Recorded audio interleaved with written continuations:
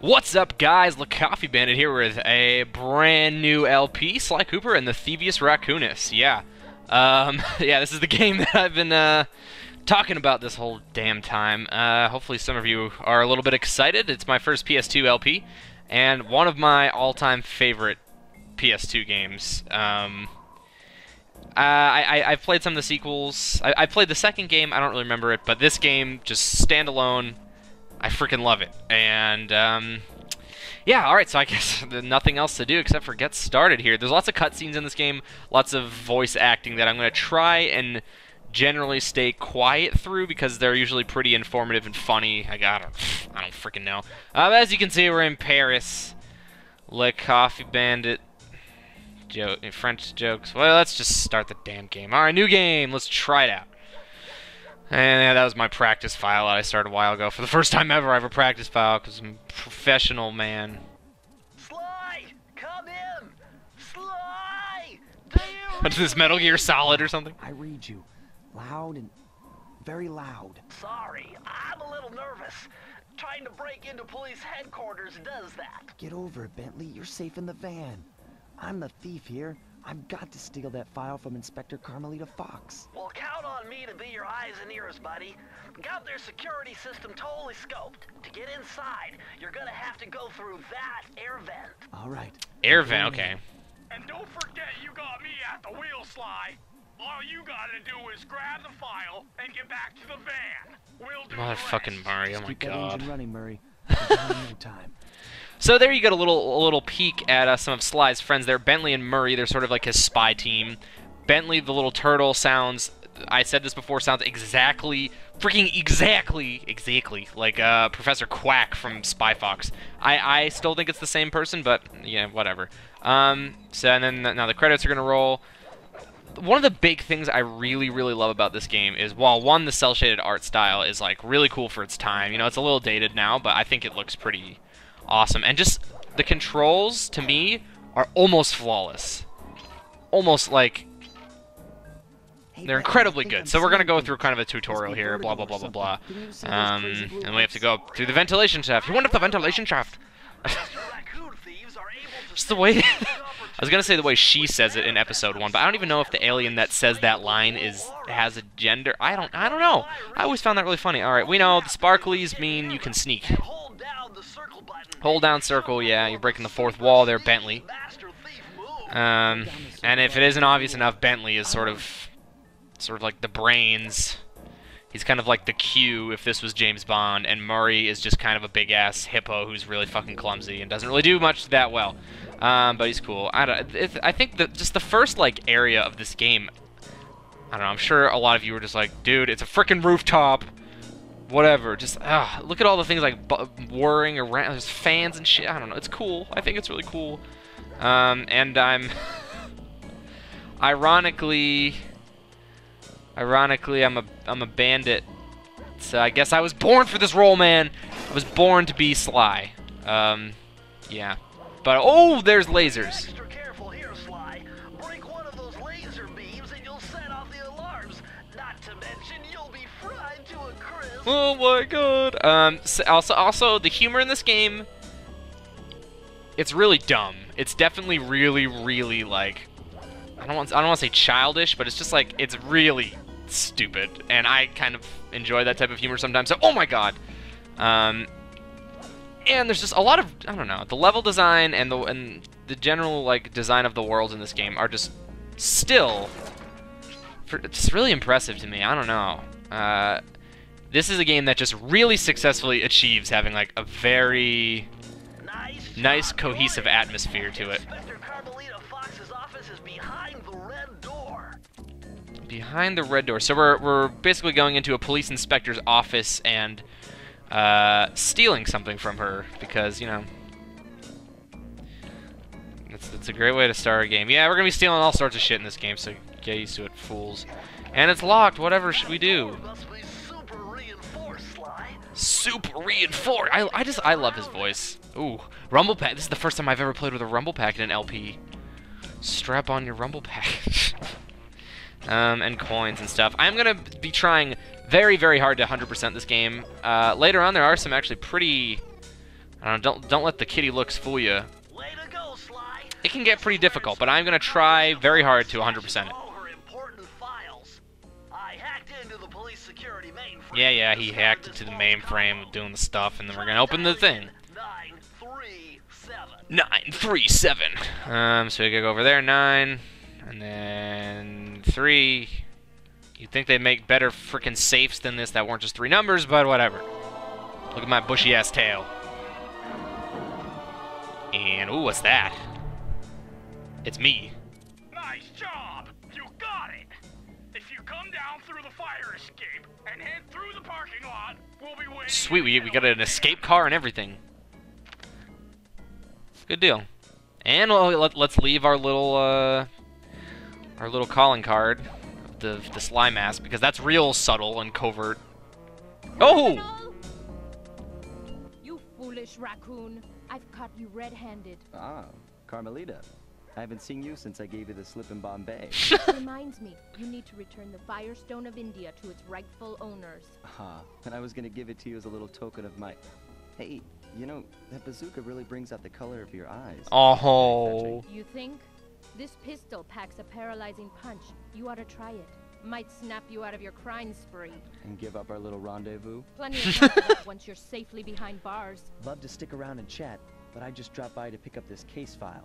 I think you've had it long enough. Okay, so we're stealing some sort of case file. She's gonna shoot at us because she doesn't, she doesn't, she doesn't like us very much. I do sense a little bit of sexual tension there, maybe between those two. Um, I don't know. This isn't like a total like kids. Is it rated T? I have the case right next. to me. I'm gonna check. It's rated E. Never mind. Um, but it's not like a total like kiddie game. I don't know. You know, there's some serious stuff in this game. Um, so we're gonna ooh, dodge her shots as she. Uh, okay, I don't even know if you can die at this part. You have to be like really bad at this game to die at this part. Um, as I almost get shot by a bullet. Um, so I guess she's gonna b- blow up all of her own cars. We're gonna get in our van and drive away. Au revoir, madam. Lay exit. Because French jokes are fun. What am I even talking about? Once again, my gang and I had given Inspector Carmelita. Well, these cutscenes are really cool. I was surprised to see how well she took it. Finally, the secret police file I'd been searching for all these years. With this, I could avenge my family and regain possession of our most valued treasure. It all began when Alright, I was major just a plot kid points, I'll shut up. on my father's knee. You see, I come from a long line of master thieves who kept all their secrets of sneaking and stealing in an ancient book. The Thievius Raccoonus. Oh, the title. He said the title. Learned to be especially sneaky, which is why we specialize in stealing from criminals. After all, there's no honor, no challenge, no fun stealing from ordinary people. Aw, so they're see You they're good master thieves. criminal, They steal from criminals. You're a master thief. Well, on the night I was supposed to inherit the book, five visitors came unannounced to our door.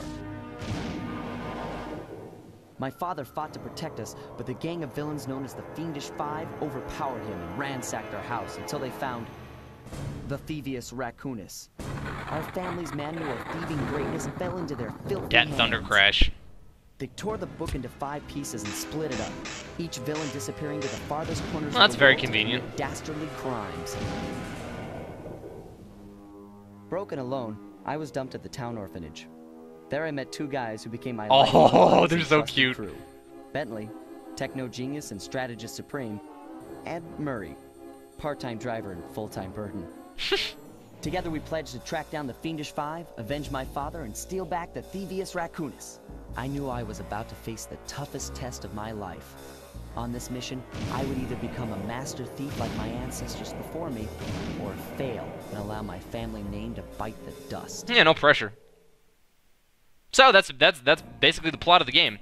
Uh, yeah, that means autosave. Uh, so yeah, gotta go after. I wonder if they're gonna divide it up into five different worlds. That was a nice piece of work back there at police headquarters. Thanks, Bentley. Come see me if you want to check out any of your old movies.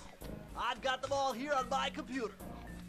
Use the left analog stick to move around. Okay, yeah, we know. X button to select things. Yes, sir. Yes, sir. So I guess right away we should probably already plotted a route to our first target. first target. Yeah, that's that's the first mission. There's Mario. I don't even know what he does at this point in the game. But um, I guess uh, this hasn't even been an episode yet. So let's let's just go to the first world. Let's do it. Are you ready? The road trip gave me the time I needed to study up on Sir Raleigh the Frog. As a young man, this hot-tempered frog grew bored of his life of luxury and privilege. On a whim, he tried his hand at a bit of piracy and found it to his liking. Raleigh, who quickly became addicted to crime, was brought into the Fiendish Five as chief machinist, where his evil tinkering genius rose to new heights. The last reported sighting of this mad machinist was off the soggy coast of the Isle of Wrath, a small island uncomfortably situated in the middle of the perilous Welsh Triangle. Okay, we're going to the Welsh Triangle. Sly Cooper in. Tide of Terror. Yeah. So each world is sort of framed as like, kind of like, I don't know, an act. There's like five acts to this game, I guess, um, which is kind of cool. But uh, yeah, we're going after after like a, a, a engineering pirate frog, who is apparently, I don't know if he's Welsh. He lives in Wales. I don't know. So we're in Wales, and it's raining. What a shock. And Scottish.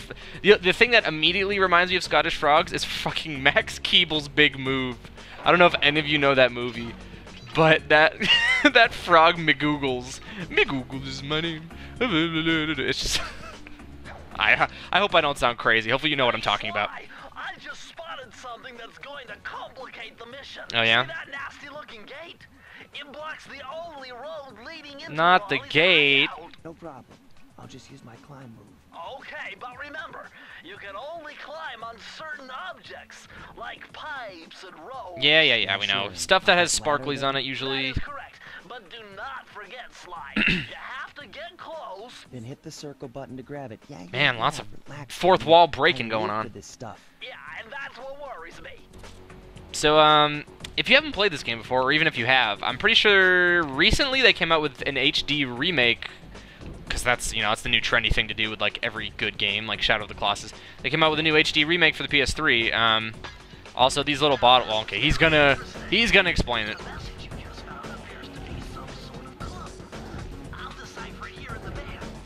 the the.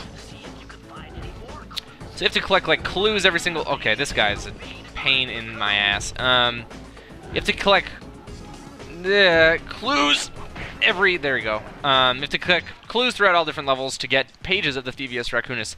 Technically, I don't think it is required in the game, but uh, it gives you some pretty freaking awesome abilities, so it's it's worth it. Because you're worth it too. Uh, so yeah, there is there is an HD remake that just came out. Looks really damn pretty, and I'm pretty su- pretty soon. I actually think they're coming out with the fourth fourth one. I, is it the fourth one? I was gonna say I know I know there's bottles up there. I know for a goddamn fact there are bottles up there. I just forget. Oh, duh. I was gonna say I forgot how to get them, but there you go. Um, yeah. I, I guess there's a fourth one coming out for the for the PS3, but I don't even know. Uh, there's a there's a point in time where I really wanted to get a PS3 because, um, oh, also 100 coins gets you a lucky. In this game, you don't have health. You get hit once and you die, which at first sounds very punishing, but it, it sort of makes sense with like the stealth aspects of the game. But I'm pretty sure 100 coins gets you. I thought that it got you like um.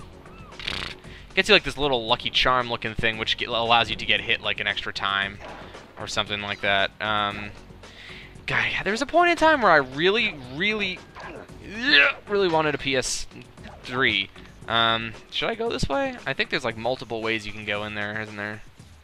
I think I might have gone. Well, it doesn't matter. Um, there's clues over here, so some bottles. Uh, I really wanted to get it basically because, but I don't think I, I don't, I have like no desire to anymore because it's almost at the end of its lifespan. And okay, yeah, yeah, yeah. Let me guess. If you go in the light, you it, it's bad for you. You done whining? Let's go. I'm just trying to Did you say keep acute alive, combustion? partner. Fortunately for you, I launched these signal repeaters throughout Raleigh's fortress. Signal Get repeaters like Plants vs Zombies. Your progress. Nice. Thank you. Okay. I will be happy when all this tutorial crap is over with. But I mean, PS3 is almost done. It, it doesn't really exist. It's not going to exist for much longer. That's what I'm trying to say. And the two games that I really wanted for it are never came out basically. Because two of my like really favorite, I guess Sly 4 would be one of them. But uh, eh, eh, don't get hit, don't get hit, don't get hit. Okay, good. Um, that was an alarm, by the way. I just knocked that down. Okay, Mr. Starfish Man. I don't like you, Starfish Walrus. Look at look at his. He's wearing like a leather jet. Just some of the characters in this game are awesome. Um, the two games that I really wanted was uh, Kingdom Hearts 3 and uh, The Last Guardian, which is that's the save point. Um, Last Guardian, which is essentially kind of like a spiritual successor to um, Shadow of the Colossus slash Eco, Ico, however you want to say it. Um, so we gotta get in his big ass blimp. Uh, this this just feels so much like Spy Fox. It's not even fair. Spy Raccoon doesn't have the same ring to it. Um, oh right, yeah, he has a bad. He has like a bad weather machine. His blimp, like you can see, there's like a tornado coming out of the top of it. Um. Any, uh, I guess is that an episode? Uh, I guess that should be an episode. Anyways, uh, Sly, uh, Sly, hello. Now that you're our new friend, my new friend at least. I don't know. There's bees. I don't know why there's bees. Uh, next time on Sly Cooper, uh, we will continue and get to Raleigh's Hideout and play a bunch of actual levels. Uh, this is just the overworld right now. So, this is the Coffee Bandit. Uh, hopefully, you uh, are excited about this as much as I am. All right. I'll see you in the next one. Goodbye.